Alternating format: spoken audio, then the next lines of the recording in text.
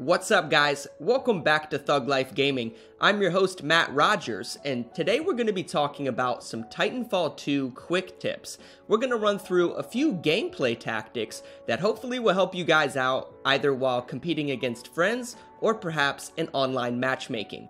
Feel free to leave a comment below and let me know what aspects of the game that you might want to learn more about here for the next episode. But with that being said, what do you say we get things started? Starting things off, tip number one is a strategy that I call wall watching. Now, of course, this is utilizing your A-Wall tactical ability, and although it can be used within any game mode, it's probably most effective within objective game types like Capture the Flag. However, for video purposes, I'm going to be playing Amped Hardpoint. So, all you have to do to pull this off is once you've made your way to an objective, go ahead and drop your A-Wall just inside the perimeter. Once you've stepped in, your game HUD will actually alert you to whether or not it's being contested. If so, start wall watching. Remember, you're behind a protective barrier that opponents can't shoot through, so stay calm and collective and be patient. Eventually, most opponents reveal their positions, and once they have, you can safely take them out. After clearing the room, however, you can also perform this strategy in a defensive manner. Find a relatively safe area, and when you feel players are approaching, drop that tactical ability and begin to wall watch.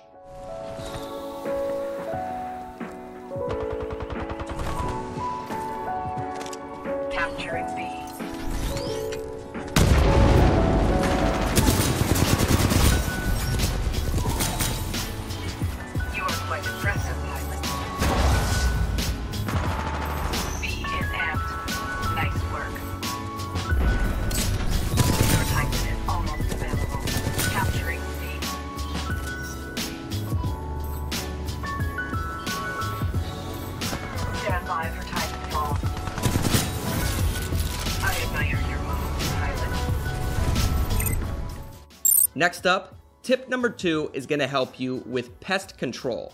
Now, we've all been in this situation of being in a Titan when all of a sudden an enemy pilot decides to hop on board. Most of us will just wait for that player to jump off, try to locate them, and hopefully pick up a kill. This is basically a very efficient way of doing that. So, once you realize an enemy pilot has boarded, make sure that there's a clear amount of land behind your Titan. What you're taking into consideration is that the default rodeo animation of ripping a battery out of a Titan does not give players the option to choose what direction they jump off. Every single time, it's going to be directly backwards. With that in mind, as soon as that pilot does jump off, all you have to do is dash, or if you're using the Ronin Titan, like myself, phase shift directly backwards.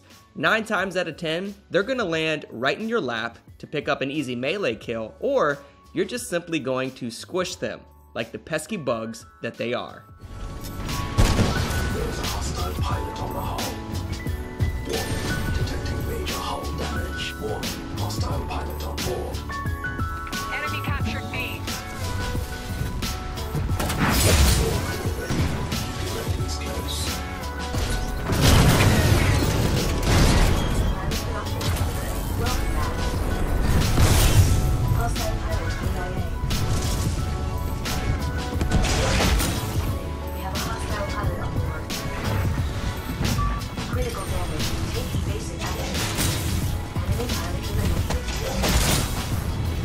Double kill.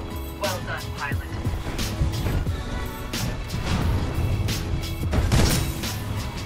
That pilot is not going to be. Warning, there is a hostile pilot on the hull. A is amped. Very nice work. Enemy pilot. Warning, hostile pilot. We have routed the enemy. Well done, pilot.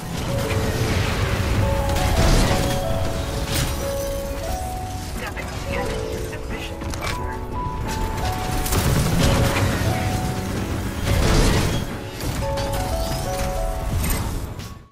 Now, for our last tip, the phase attack will require that you equip the phase shift tactical ability, but also an arc grenade. I realize that this isn't necessarily the most popular form of equipment, but I can assure you that it has many benefits. ranging from reducing the movement speed of pilots to possibly disorienting enemy titans. For this tip specifically, it's going to come in handy when you find yourself in the vulnerable position of possibly being killed. So, how do you do it? Well, if at any point during a match you feel as if an opponent has the jump on you, go ahead and enter that phase shift. While you're in it, you can't actually damage opponents with bullets or equipment, but what you can do is pull the pin on your arc grenade. This will allow you to throw it much quicker once you've exited out of that phase shift, and with the blast radius of it being relatively large, you're most likely going to hit the enemy. Once you have, it's just a matter of time before they fall victim to the phase attack.